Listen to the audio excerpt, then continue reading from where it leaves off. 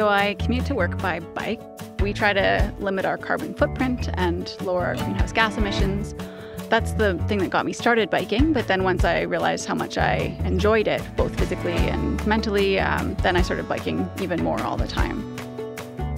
I do think the city's on the right trail. I think the cycling master plan is going to be really great to show what can be possible and adding in protected bike lanes through the downtown, more trails, connecting the trails, you know, just all the little gaps that need to be filled to make that protected grid of infrastructure. We are really happy to walk everywhere we need, whether it's going to the library, the Kitchener Market, out to a cafe with friends, or, or seeing some live music downtown. Um, we love the, the freedom that living in a walkable neighborhood gives us. It's not very hard for us to get to work. Most days I walk and sometimes I bike if I'm going somewhere after work.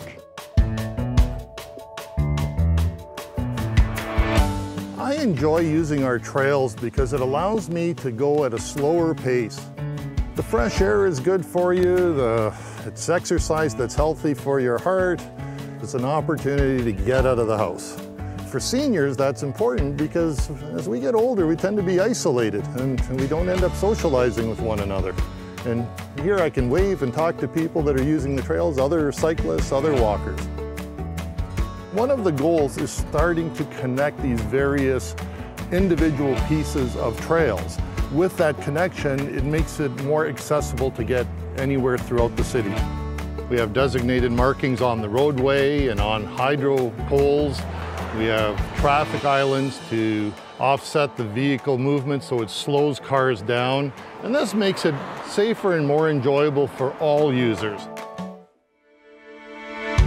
When I move to a new city, it's about discovery. It's about finding the different routes through the city and discovering things for the first time.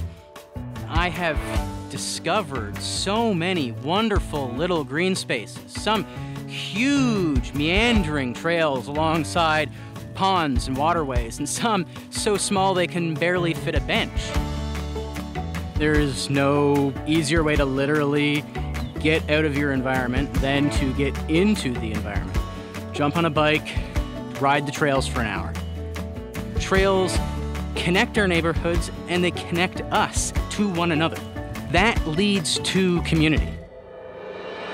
A lot of people don't realize they may have trails in their backyard as well. So go out with your kids or with your family members, just kind of explore a little bit. City of Kitchener has great maps online. Take a trip on the Iron Horse Trail on the spur line and see where it can take you.